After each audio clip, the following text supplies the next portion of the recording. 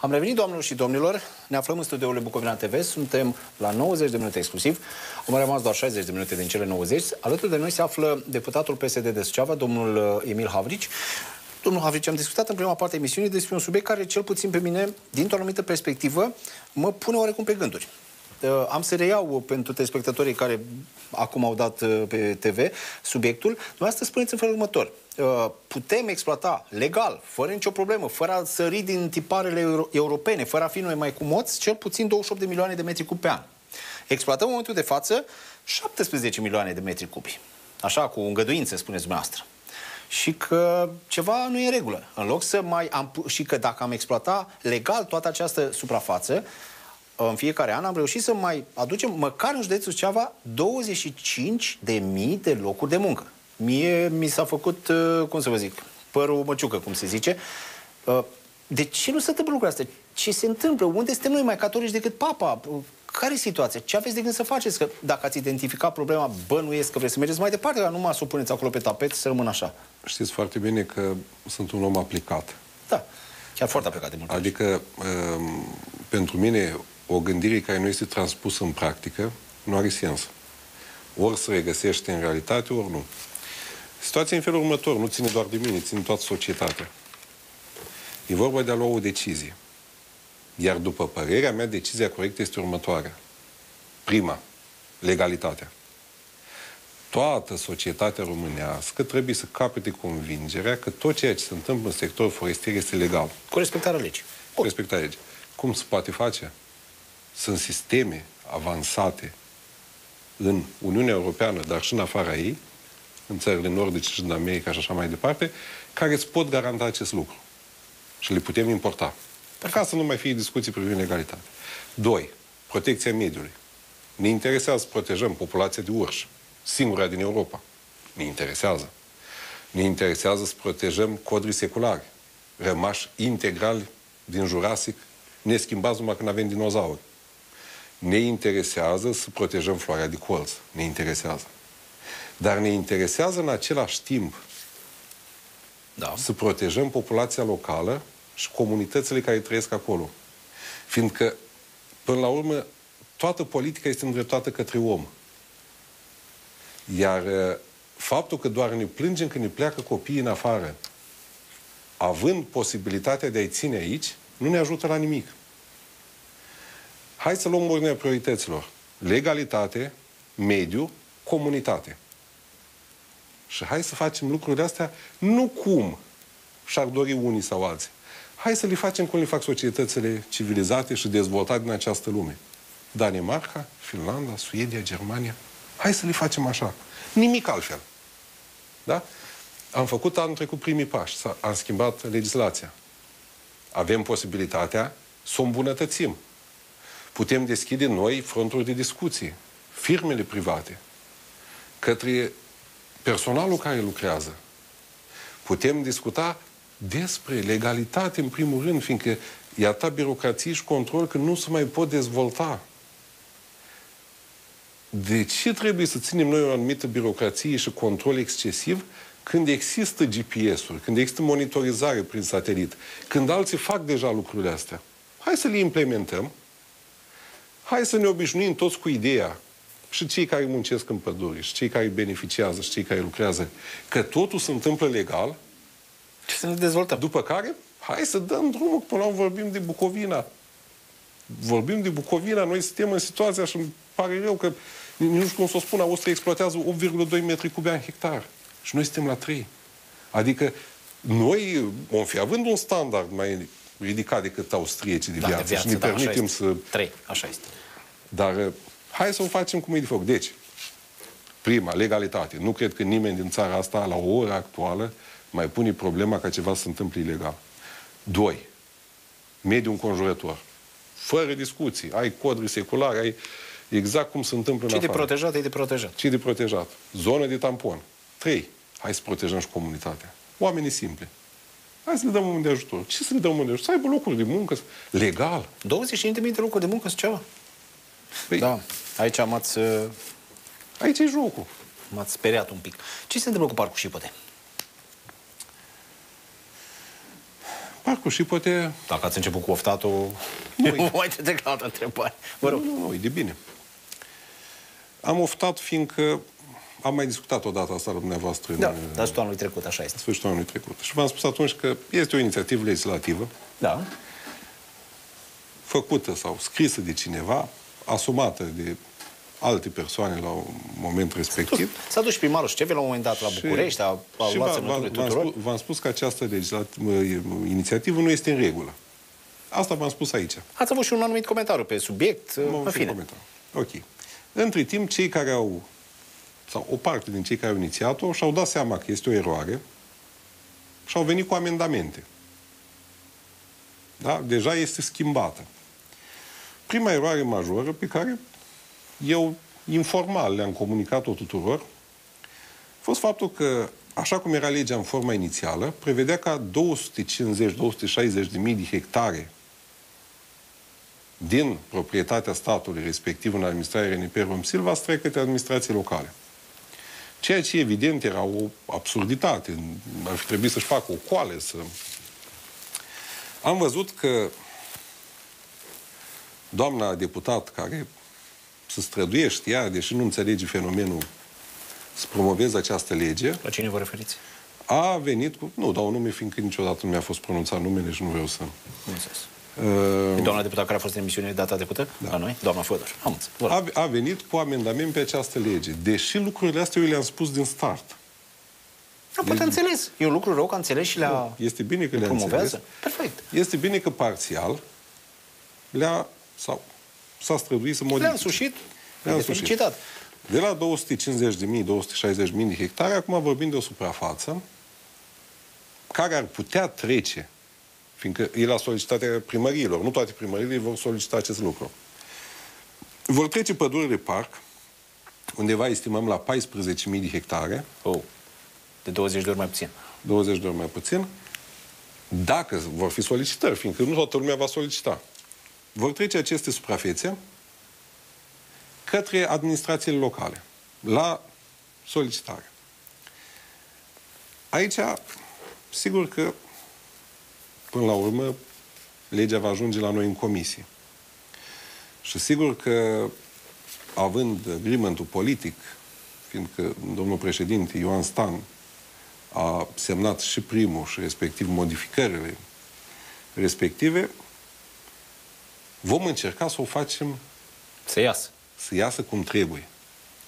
Iar când spun că să iasă cum trebuie, nu am de gând ca 14.000 de hectare, eu fiind ecologist, prin natura și În prin sufletul formația noastră, mea, da? nu am de gând ca să iasă o întâmplare.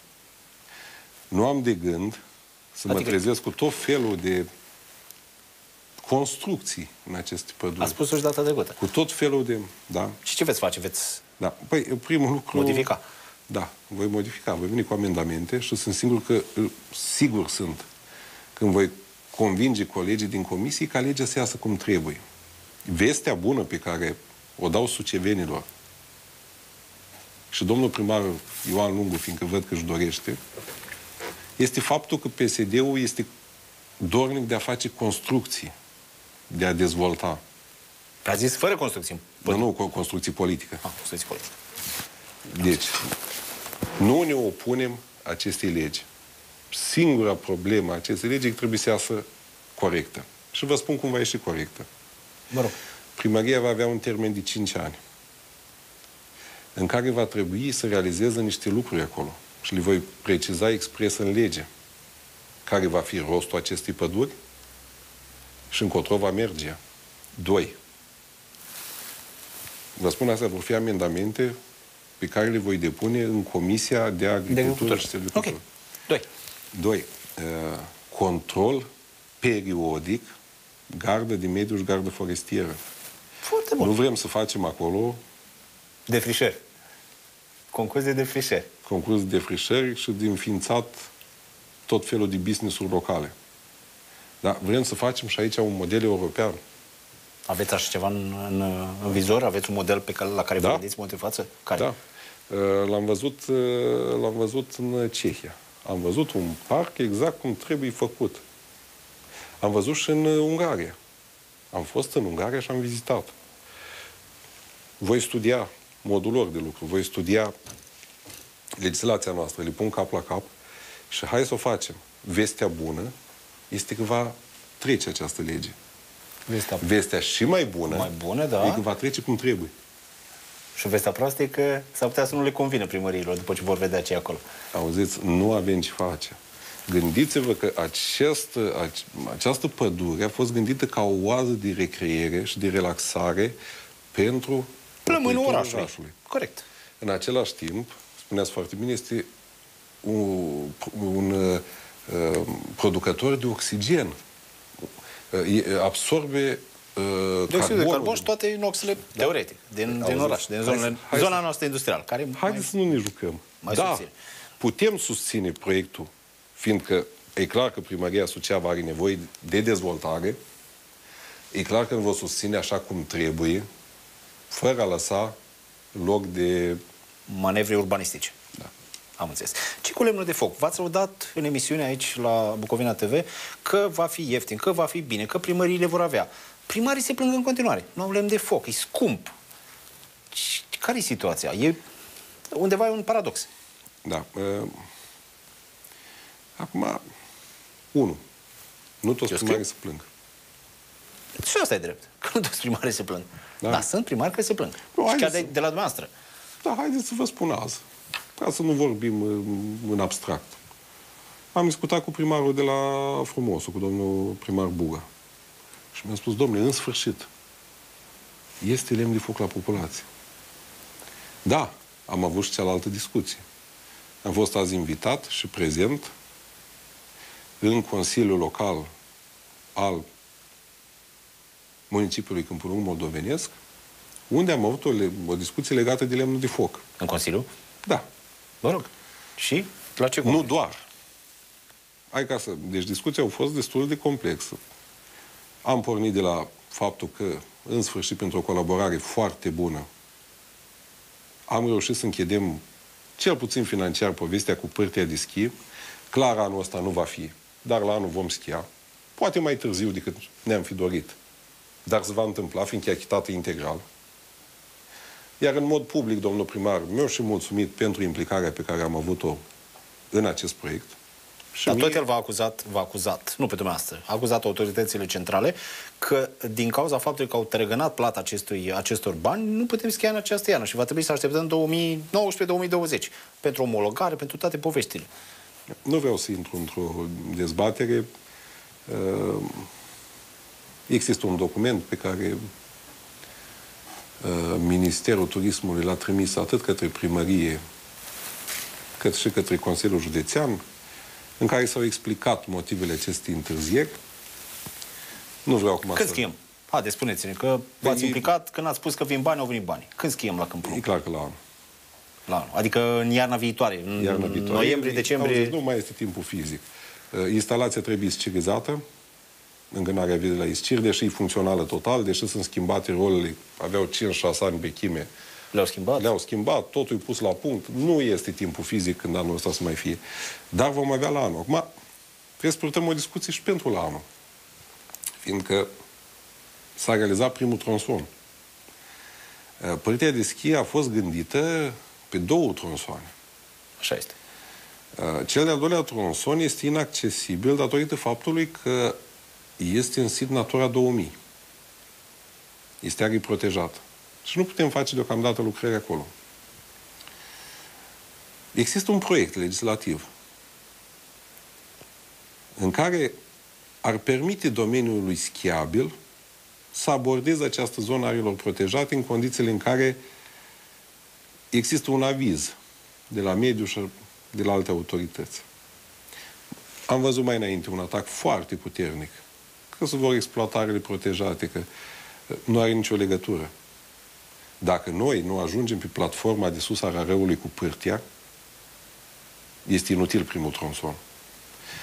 Iarăși revin la aceeași discuție. Hai să luăm niște decizii. De referitor la managementul forestier. Domnule, hai să dăm suprafețe în schimb. Hai să facem adrese către Uniunea Europeană în care punem alte suprafețe la schimb. Dar cine dorim ca cetățenii din Câmpul Lung, din Vatra Dornei, din Gura Humorului, din Suceava, să facă schi în Austria sau mai nou în Ucraina? Sau vrem să facă schi la noi și să lase bani aici? Adică vrem să ne dezvoltăm sau nu vrem să ne dezvoltăm? Că asta e întrebarea. Putem proteja orice. Nu este o problemă. E decizia noastră. Și vă spun încă o dată, și credeți-mă, cunosc fenomenul, nu o să vină nici nemții, nu o să vină nici francezi, nici austrieci, nici să ne spună ce protejăm, ce nu, dar nici nu o să vină să ne ajute să ne dezvoltăm. Este pur și simplu decizia noastră. Și trebuie să vedem ce facem. De asta vorbesc de parcul și poate. De asta vorbesc de pârtii. De asta vorbesc de management forestier. Și o să vorbesc despre lemn de foc. Eu nu m-am băgat niciodată în probleme foarte stricte de administrație locală. Fiindcă nu am, nu am uh, pretenția că le cunosc foarte bine. Nu am fost primar, n-am fost consilier local, n-am lucrat într-o primărie. Dar văd că foarte multă lume analizează problema lemnului de foc. Și nu știu în ce calitate. Aș mai spune un lucru. Vă rog. Aș întreba câți din deputații, senatorii din opoziția suceveană au abordat un ministru în mod real, nu prin niște interpelări inutile la care îți răspunde e conform articolului cu tare din lege, la care s-au dus să discute, să facă lobby, să explice o anumită situație concretă, să-și rupă tălpele dintr-un minister într-altul, dintr-o agenție într-alta, pentru a sprijini proiectele locale. Credeți-mă că am discutat doar săptămâna trecută cu 4-5 miniștri, am discutat și în urmă. N-am auzit niciodată un ministru spune, da, domnule, a fost deputatul de cutare culoare politică. Și mi-a ridicat și el problema asta. Dacă, doar ca să apărem la uh, televizor și să spunem, domnule, am făcut o interpelare legată de nu folosește la nimica, du-te fă lobby pentru zona ta, muncește pentru zona ta. Dar era lemnul de foc, aici am ajuns. A fost vreunul din cei care comentează că nu este lemn de foc, până la direcția Silvic Suceava să întrebe care e realitatea? Nu a fost, am fost eu. Și vine directorul direcției, cheamă pe domnul Airoai care răspunde și îmi spune, domnule, am disponibil 7800 de metri cub de lemn de foc pentru populație și nu mi, nu mi cere nimeni. Adică primarii nu cer lemn de foc. Asta nu, e. Nu-i solicită. Da? Bun, am avut discuția în, la Câmpul Lung. Și domnule, da, într-adevăr, mi-au pus 600 de metri la dispoziție acolo Moldovița, e departe. Domnule, dacă nu ți punea la dispoziție nimeni, zice așa, și irațional ceea ce spun, eu nu neg.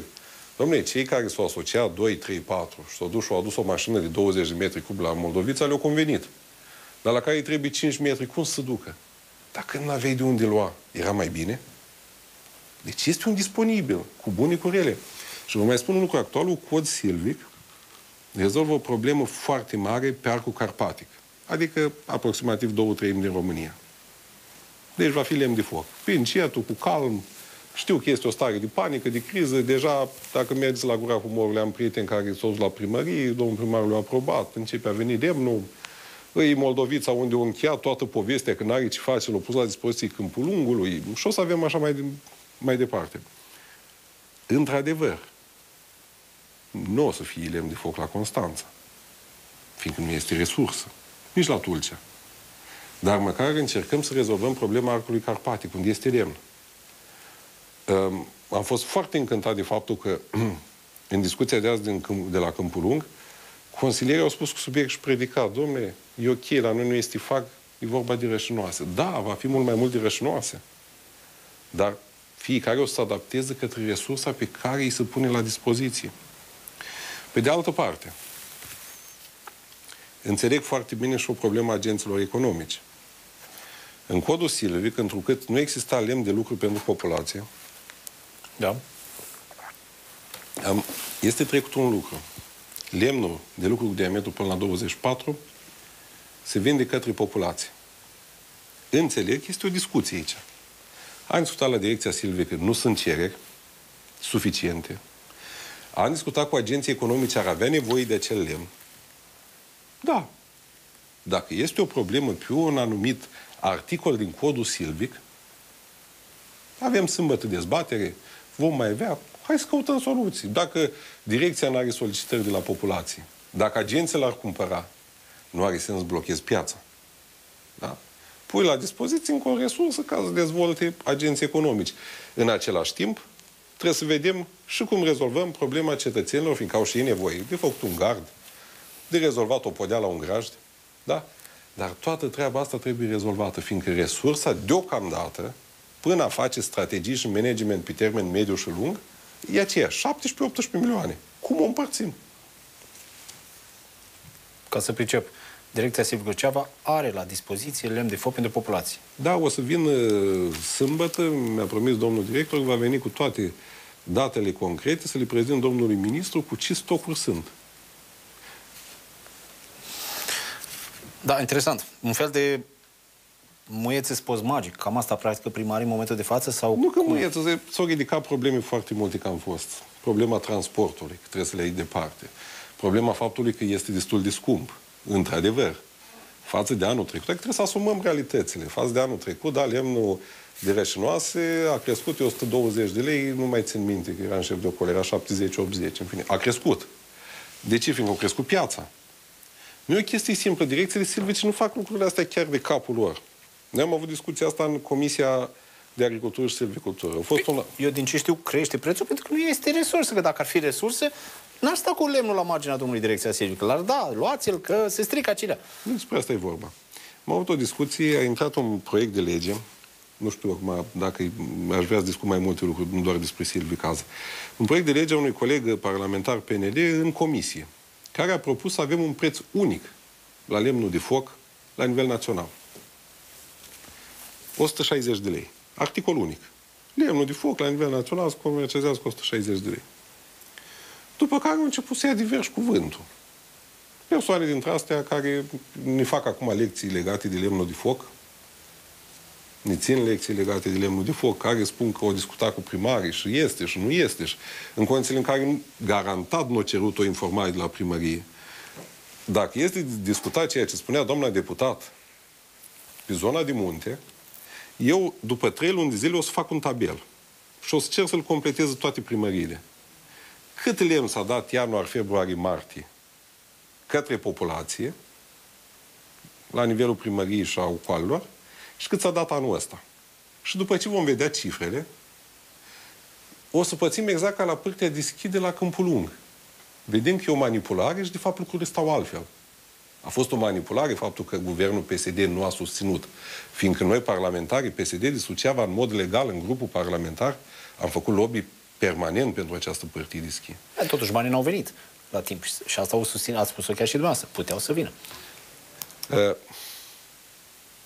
am venit azi din Consiliul Local. Hai să o lăsăm așa. Dacă vreți să vedeți adevărul, solicitați Consiliului Județean să vă pună la dispoziție adresa prin care i-a răspuns Ministerul de ce nu a dat banii la timp. Dacă, dacă țineți minte și vreau să închei, vreau. Uh, Consiliul Județean, prin domnul președinte Flutur, a acuzat guvernarea PSD că nu acordă acești bani. Și n-a făcut doar atât a trimis o adresă prin care a cerut să fie informat de ce nu vin acești bani. Eu nu am acces la răspuns. Adres. Fiindcă... Să-l cerem noi, ziceți Sunt simplu parlamentar. De ce nu aveți acces la răspuns? Puteți să întrebați pe domnul de ce, de ce așa scump? Am priceput. Eu zic să faceți, o spun, domnule, având în vedere că ați trimis o adresă cu numărul aia, există un răspuns a Ministerului, fiindcă nu putem continua în minciună și în manipulare la nesfârșit. Nu putem. Ăsta e adevărul. Ori le spunem cum sunt, ori ne jucăm cu jumătăți de măsură. Ce găs domnului președinte a Consiliului Județean, care a, care a acuzat atât de tare faptul că nu se PSD la părtie? nu se implică și rugați-l ca pe viitor să aibă discuții mai dese cu primarii de aceeași culoare politică pentru a depune documentațiile la termen și așa cum trebuie. Am înțeles. Domnul și domnilor, mai luăm o scurtă pauză de publicitate. Revenim după câteva momente.